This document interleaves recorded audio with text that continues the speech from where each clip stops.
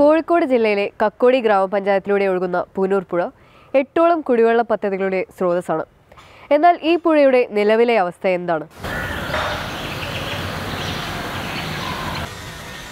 നാം മലിനീകരിക്കുന്നവരാണ്.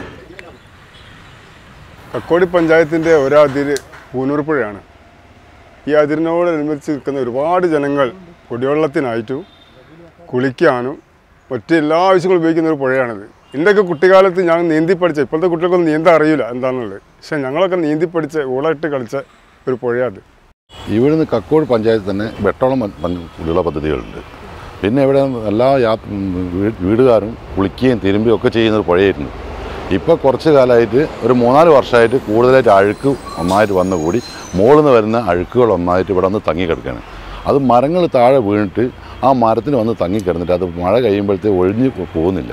ഉള്ള കുപ്പികളും വേസ്റ്റുകളും പ്ലാസ്റ്റിക് മാലിന്യങ്ങളും ഒന്നായിട്ട് പുഴയിലേക്ക് എല്ലാവരും തള്ളുന്നത്. പിന്നെ കുപ്പി T V V C R tube bulb കോയിന്റെ waste കല്യാണം കഴിഞ്ഞിട്ട് അത് കൊണ്ടിടുന്ന വേസ്റ്റ്. വെള്ളം വാസനിക്കുന്നുണ്ട്. പിന്നെ കോഴി മാലിന്യങ്ങളും കോഴി വേസ്റ്റുകളും ഉണ്ട് തള്ളിയിട്ട് അത് പുഴ വെക്കുന്നുണ്ടെന്നായിട്ട്.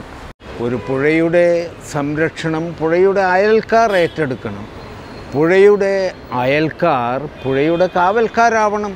ഇത് എടുക്കുന്ന ഇത് ഇങ്ങനെയല്ലായിരുന്നു. ഇത് ശരിക്കും പറയേണ്ടതിൽ ഒരു അഞ്ചടി ഹൈറ്റിൽ മാലിന്യം തന്നെ കൂടിക്കിടക്കായിരുന്നു അത് എടുത്ത് മാറ്റുന്ന മാറ്റുന്ന ഇത് അതിന്റെ അടിയിലേക്ക് ഒരാൾ പോയിട്ടുണ്ടെങ്കിൽ പിന്നെ പൊന്താൻ കഴിയില്ല.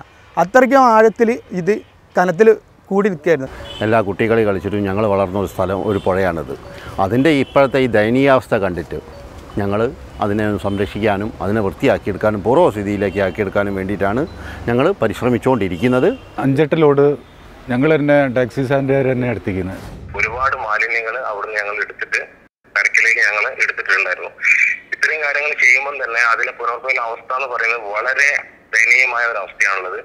കാരണം അത്രയും അഴു- അഴുക്ക് അഴുക്ക് നിറഞ്ഞ അതായത് മാലിന്യങ്ങൾ കെട്ടിക്കിടന്നിട്ട് പുഴുവരിച്ച നിലയിലും കുറെ ഇലക്ട്രോണിക്സ് പാഴ്വസ്തുക്കൾ അതുപോലെ തന്നെ അതിലെ ഇറങ്ങിയ ആളുകൾക്ക് ശരിക്കും പറഞ്ഞാൽ മേലിൽ ചൊറിച്ചിൽ ഉണ്ടായ ഒരു അവസ്ഥ വരെ വന്നിട്ടുണ്ട്. ഇവിടുന്ന് ഒരു മുപ്പത് മീറ്റർ അവിടെയാണ്. അവിടെ ഒരു ചെറിയൊരു കിണറുണ്ട്. ആ കിണറിനകത്ത് ഒരു പൈപ്പ് ഉണ്ട് ആ പൈപ്പിന്റെ അകത്ത് ഒരു ആ, ആ പഞ്ചായത്തിന് ആ ബാക്കിൽ അവിടെ ഒരു കിണറുണ്ട്. ആ കിണറിനകത്താണ് ഈ പഞ്ചായത്തിലേക്കുള്ള കുടിവെള്ളം ഫുള്ളും എത്തിക്കുന്നത്. ഒരു അഞ്ചെട്ട് പദ്ധതി ഞങ്ങൾ അറിവിൽ തന്നെ ഉണ്ട്. ഈ മയിൽ ഈ വെള്ളം പിന്നെ അടിച്ച് കയറ്റിയിട്ട് ഈ ഏക്കറുള്ള സ്ഥലങ്ങളിൽ വെള്ളം എത്തിക്കുന്നുണ്ട് ഈ പുഴക്കൂടെ ഈ മാലിന്യം നിറഞ്ഞ വെള്ളം തന്നെയാണ് ഇപ്പോഴും കോർപ്പറേഷൻ ആയാലും ഇവിടുത്തെ പഞ്ചായത്തായാലും ഉപയോഗിക്കുന്നത്. അഞ്ച് അഞ്ച് ഘട്ടമായിട്ടല്ല തന്നെ ഞങ്ങൾ ഈ പ്രവർത്തനം നടത്തിയാൽ പോലും തീരാത്തത്ര അവശിഷ്ടങ്ങൾ ഈ പുനർപ്പുഴയിൽ കിട- കിടക്കുന്നുണ്ട്. ഒരു മഴ പെയ്താൽ പോലും ഒഴിച്ചു പോകാൻ കഴിയാത്ത രീതിയിലാണ് ഈ പുനർപ്പുഴയുടെ അവസ്ഥ ഇപ്പോൾ. ഒരു ഉത്കണ്ഠ എന്ന് പറയുന്നത് ഇപ്പൊ എടുത്തിട്ട ഈ അവശിഷ്ടങ്ങൾ. അത് അവിടുന്ന് റിമൂവ് ചെയ്തിട്ടില്ലെങ്കിൽ വീണ്ടും ഒരു മഴയോ കാര്യങ്ങളോ വന്നു കഴിഞ്ഞാൽ ഈ അവശിഷ്ടങ്ങൾ വീണ്ടും ഈ പുനർപ്പുഴയിലേക്ക് തന്നെ തള്ളപ്പെടുകയും വീണ്ടും രീതിയിലേക്ക് അത്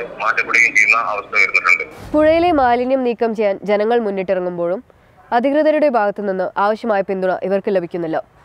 തദ്ദേശ സ്വയംഭരണ സ്ഥാപനങ്ങൾ അനാസ്ഥ ഇനിയും തുടരുകയാണെങ്കിൽ പൂനൂർ പുഴ ഒഴുകുന്നത് രോഗങ്ങൾ പേറിക്കൊണ്ടായിരിക്കും.